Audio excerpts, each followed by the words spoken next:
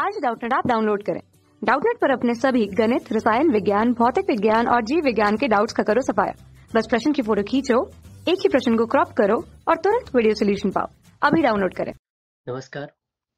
अगला सवाल है एड्स में एचआईवी के संक्रमण के लक्षण किस अवस्था में प्रदर्शित होते हैं?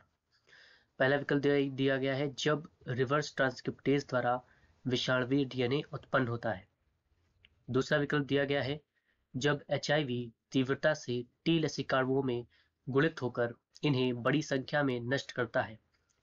तीसरा विकल्प दिया गया है, संक्रमित व्यक्ति से यौन संबंध बनाने के पंद्रह दिनों में। चौथा विकल्प दिया गया है, जब संक्रामक रिट्रो विषाणु पोषक कोशिका में प्रवेश करता है। सबसे पहले हम बात करते हैं कि ये जो एचआईवी विषाणु होता है, ये रिट्रोवायरस समूह का है। ये रिट्रोवायरस समूह से आता है। Retro, retrovirus. जब ये मानव के रुधिर में प्रवेश करता है, इसके बाद ये सीधा माइक मैक्रोफेस यानी बृहत बक्षकाणु में प्रवेश करता है। मैक्रो फ़ेज़ में प्रवेश करता है और माइक्रोफेज में प्रवेश करने के साथ साथ ये टी लसिकाणुओं में भी प्रवेश करता है। टी लसिकाणुओं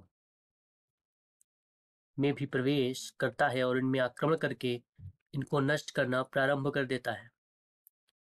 नष्ट करना प्रारंभ कर देता है। इस अवधि के दौरान इनकी संख्या लगातार कम होती रहती है। इनकी संख्या इनकी संख्या लगातार कम होती रहती है, जिससे इस अवधि के दौरान बार बार बुखार तथा दस्त का बार बार बुखार तथा दस्त और वज़न घटना जैसी लक्षण दिखने लगते हैं। बुखार, दस्त और वज़न घटना ये लक्षण प्रदर्शित होने लगते हैं।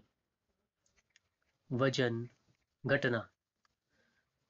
तो इस तरह से हमारा उत्तर है, जब एचआईवी तीव्रता से टीले सुकाणुओं में गुणित होकर इन्हें बड़ी संख्या में नष्ट करता है। धन्यवाद। कक्षा छठी से बारहवीं से लेकर NEET I I T JEE वो एडवांस के लेवल तक, एक करोड़ से ज़्यादा छात्रों का भरोसा। आज ही डाउनलोड करें डाउट नेट ऐप या व्हाट्सअप करें अपने सारे डाउट्स आठ चार सौ चार सौ चार सौ पर।